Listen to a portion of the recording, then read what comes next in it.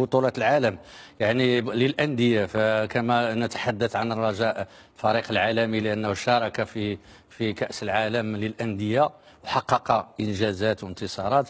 فكذلك هل ينطبق هذا المسمى على الوداد رغم حضوره في بطولة العالم لأنه لم يفز بأي شيء؟ يعني خرج بصفر نقطة انهزم في اثنين مباراة وبالتالي أعتقد أنا من وجهة نظري أنه لا يستحق هذا المسمى مسألة العالمية مسألة موضوع العالمية لازم آخر. لازم يعني تثبتها بالنتيجة تكون الحضور. يعني المغرب التطواني كذلك الجماهير شارك في الجماهير من حقها أن تصير فريقها بالعالمي لا ولكن تطوان شارك في كأس العالم.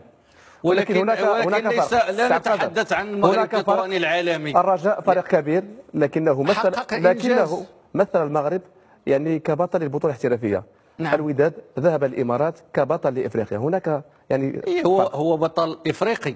أنا نعم. متفق معك ولكن ما دام أنه لم يحقق أي شيء لا يمكن أن نتحدث على العالمية لأن حضوره كان تقريبا اكتفى بالمشاركة والحضور وتأدية الواجب نعم. وفي حالة هذه يعني ما دام أنه لم يحصل على أي نقطة فالتاريخ لن يحتفظ بفريق لم يحصل على أي نقطة وبالتالي أتمنى لا أنا علاش نقول هذا الشيء لأنه آه، المسميات لازم الواحد لكل لكل مقام مقام يعني نعم. أنه إلا بغيتي تكون عالمي وكون سيدي مولاي وفوز بمباريات جيب نقاط الوداد الرياضي والرجاء الرياضي. في نهايه المطاف وداد الرياضي والرجاء الرياضي. العالمية هذه مصطلحات يستعملها الجمهور فقط سي قادر ما يهمنا نحن يعني كإعلام هو نقيم هذه المشاركة. مشاركة وداد في بطولة فيها الكبار العالم. فيها الجريميو البرازيلي فيها ريال مدريد وفيها فرق أخرى. ولكن أين نحن من هذه الأندية؟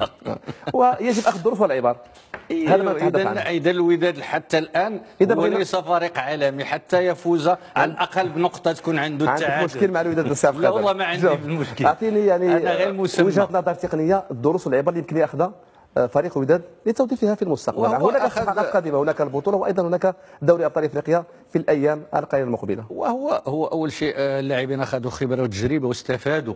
يعني وكانت هناك أخطاء ربما على جميع المستويات.